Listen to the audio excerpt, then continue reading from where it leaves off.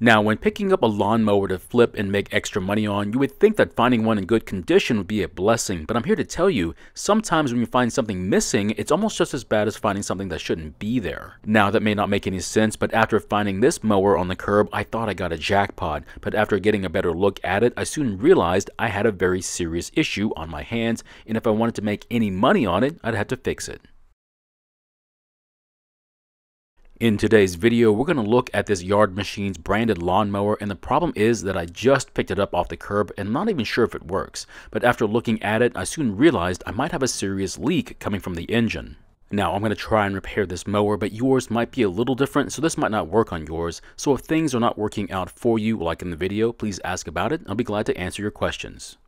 So this mower was pretty dirty when I first got it and of course I had to give it a quick cleaning otherwise I could make things worse. So when it's dirty you can't see any of the issues it could be hiding but after the cleaning we got a really good look at it and unfortunately I saw something I wish I hadn't seen. Of course, the worst thing you can discover is that the engine is leaking oil, and it could mean that the engine might have been used while low on oil and ruined it. However, the other leak it could have is just as bad, but in a different way.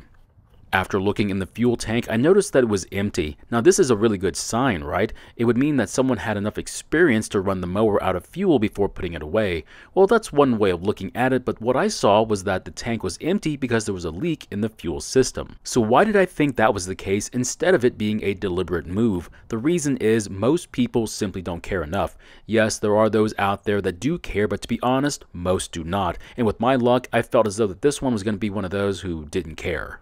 The other telltale is that the paint on the mowing deck under the carb is dull. That typically tells me that the carb has been leaking fuel for a long time and it's ruined the paint. That would definitely explain why the fuel tank would be empty versus someone draining it. Now before we go on, I do want to at least confirm that the engine does start and run, otherwise we could be wasting our time on a broken engine. Now for this test, I'll be physically priming the engine with fuel.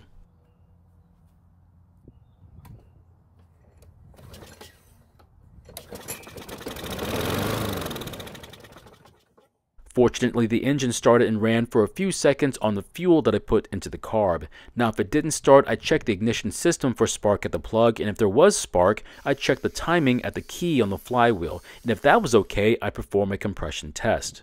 Now on this type of priming system, the bulb is part of the air filter base, so pressing the bulb forces air into the passage that's sealed with a paper gasket. The pulse of air then makes its way into the carb and into this opening, but there is an issue. The gasket has a tendency to leak over time, which means for every press, it may not force as much fuel into the carb as it's supposed to. That's why you sometimes see someone pressing it more times than they should, because they know the primer isn't working well. Now, if I know the primer works like it should, I'll only press it as many times as it says to, but if I know it's not working well, you'll see me press it a lot more than it says. Now since I think the carb is leaking, I'm not going to put any fuel in the system just yet. Instead, I'm going to take the carb off the engine and inspect its condition. But as you'll see here in a bit, I wasn't paying as much attention as I should have been. After getting the carb off the engine, I'll then remove the bowl nut, which is also the fuel jet. Now we'll need to clear the fuel jet, but we'll do that right after we take the bowl off and see how bad it is inside the carb. So surprisingly, it's not that bad in here. There are a few small spots we need to clean up, but overall, it's in pretty good condition. The next item I need to check is the position of the float in relation to the bowl's mounting surface. If there's a huge difference between their angles, it could point to an issue with the seat that could cause it to either not give enough fuel to the engine over time or cause the carb to leak.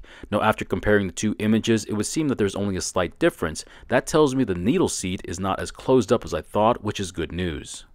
I also want to check and see how the float moves and make sure it has a full range of movement, which ours does. If yours doesn't, it could mean your needle is stuck in its passage. I also want to check the bowl gasket and make sure it's not cracked.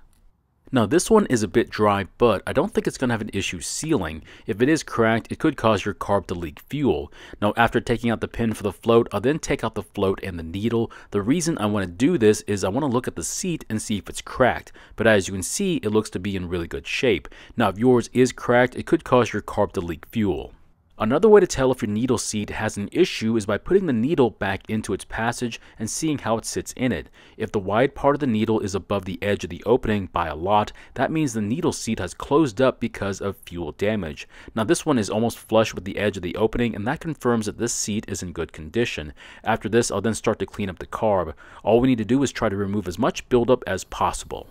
I'm going to use carb cleaner and a brush, but use whatever you have on hand. Now you don't have to get it perfect, but I would try to remove anything that might come loose and clog the carb. And if you don't, there's a good chance that whatever you leave behind could go from a hard calcium-like formation to a soft jelly over time.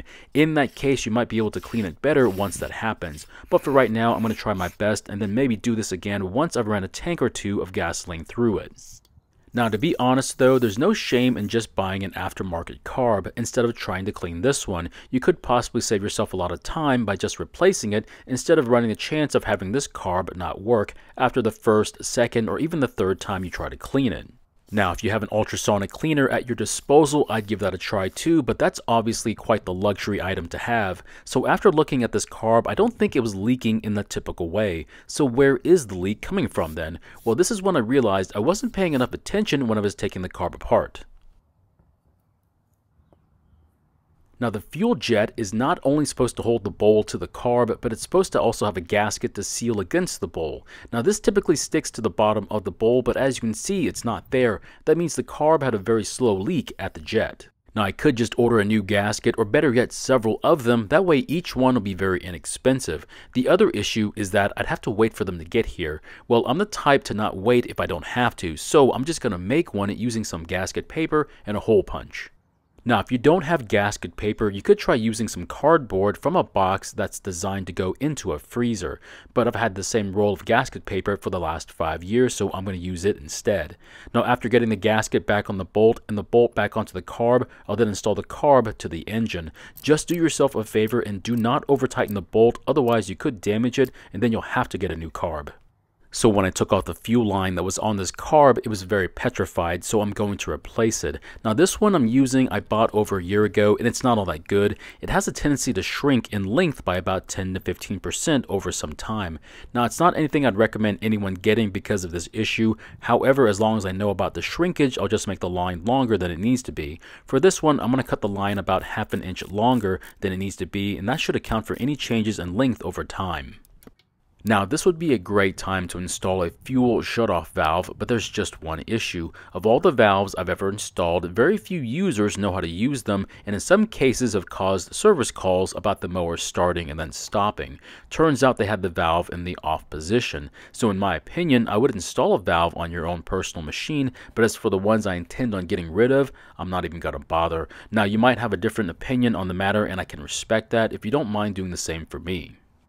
Now you might think it's time to fill up the tank, and get the mower on the ground, and then start using it, but before I do that, I want to do a few extra things. The first item is to put some fuel in the tank, but instead of a full tank, I'm going to put about a cup of fuel in it first. That way if we have a fuel leak, we only have to worry about losing a few ounces. After a few minutes, I don't see any fresh fuel coming out of the carb or on the mowing deck just yet. Now this may take a few minutes, so in the meantime, I'm going to lube the wheels and the height adjusters. Now this step is often missed and it's not all that important to do, but it will make using this push mower a little bit easier. I'm going to use plastic safe lithium grease in a can and I'm going to just spray it around the bolt and also on the back side of the wheel. Now this is not the best method to get the grease onto the axle but it's better than none at all. If you want to use a different type of lube that you already have on hand, be my guest. The other option is to remove the wheel, clean up any buildup off the axle and then apply the lube. Now this works much better but it's obviously a little bit more time consuming. For the height adjusters, I would use something that was a little thinner, such as a very light oil, but like I said, use whatever you have on hand. Now, most people never change their mower's height, so it's quite the surprise to them the first time they have to do it and realize that the adjusters are stuck in place. If that happens, I'd use a lot of lube and something to help force the adjuster arms to move. This works extremely well if you have a self-propelled mower as well, but you'll notice it more on a push mower for obvious reasons. Since I have a can of spray lube out, I'm also going to use it anywhere around the mower where I think it might be useful. The other area that's often overlooked is the brake cable. I'd spray what I can on the exposed part of the cable at the bottom and also at the top of the cable. Now these cables don't last forever, so don't be surprised when they get stuck or just break one day. And don't worry if yours is broken because these are typically not expensive to replace and if it's your own personal mower you can easily replace the inner cable with a thin wire for a lot less than a new cable.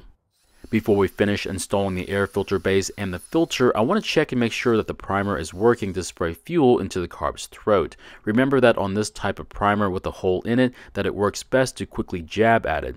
Now to be able to see if it's working, I'll have to take this metal plate off the base. Now this isn't hard to do by yourself, but having someone press the bulb while you look at it would be a bit more convenient. As you can see, after pressing it a few times, you can see fuel shooting into the carb's throat.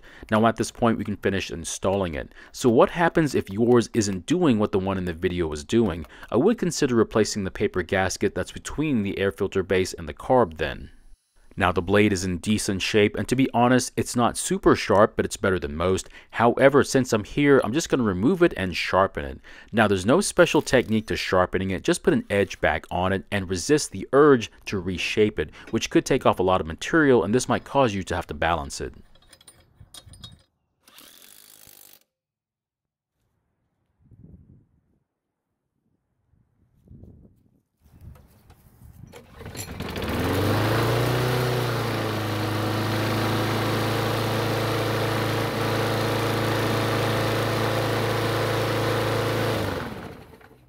So the good news is that the engine started and ran, but the bad news is that the engine is running a bit too fast. I'll tie down the brake handle and then restart it and adjust the anchor for the governor spring to help set the engine speed.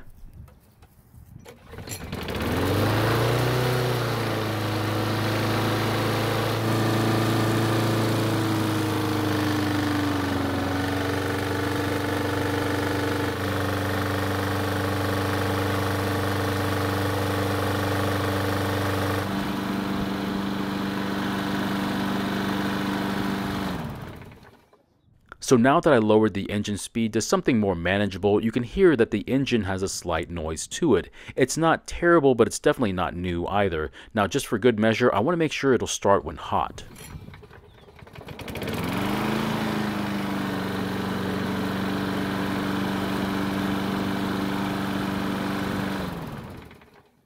So for a used mower, it starts and runs just fine, and even with a slight noise, this engine should run for a long time, with oil changes of course. Now since this engine is from several years ago, it was built a lot better than today's engines and will take a lot more abuse than the ones you can get right now.